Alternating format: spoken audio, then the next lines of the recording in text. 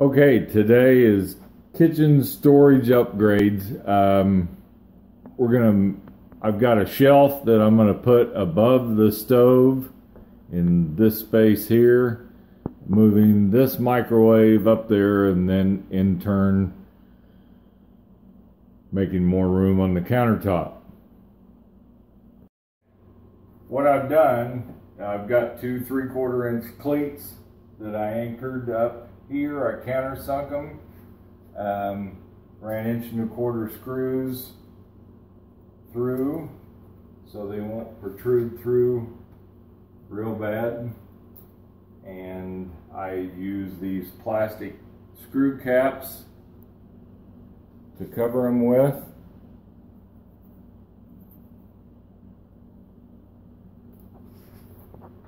And those fit in that Phillips slot enough. And that's about all that takes. Okay, we've got the cleats in, inch and a quarter screws, anchored that in. These are oak. If you wanted to, this is a shelf that I built, which is three quarter inch plywood. I ran oak on the back, oak on the front, and for cleaning purposes, I used Formica that I put on the plywood each side. You can do this with almost any kind of wood. We already have the microwave, so I didn't want to go spend $250 on a above the stove microwave that actually fits in here and anchors and so on. So I'm just building the shelf. Um, if you're renting a house, you just have four holes here in these cleats. You can anchor that up, build this shelf. You could do this out of plywood and pine or whatever and paint it. Um, you just need to make sure you've got inch and a half on each side to keep the shelf stiff because it's only sitting right here and here, which will more than enough to hold this microwave.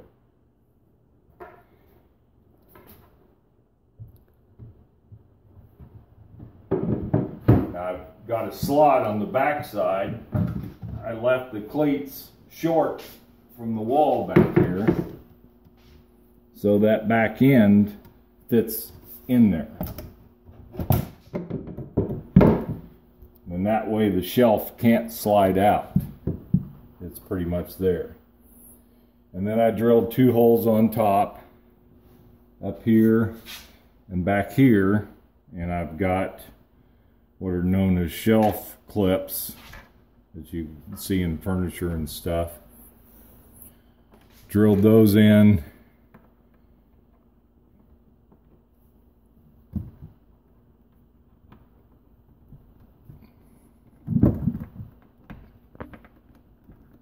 Stick that in there and then that shelf can't flop out of there. Works just fine.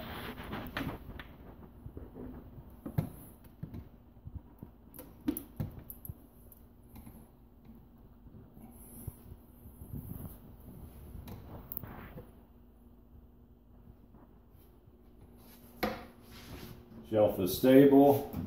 Microwave's here.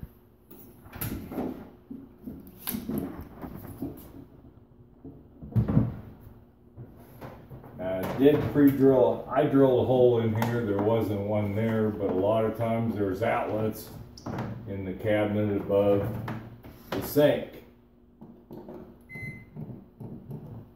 So, I'll clip that up get it kind of out of the way. You need to make sure your shelf is deep enough that the feet on the shelf are behind the three quarter on the front. I kept that up a quarter so the microwave can't slide off the front end.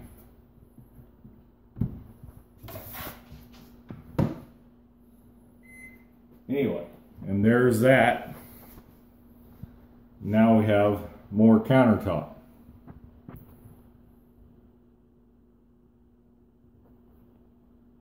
These are ideas. You can do it any way you want. Thank you.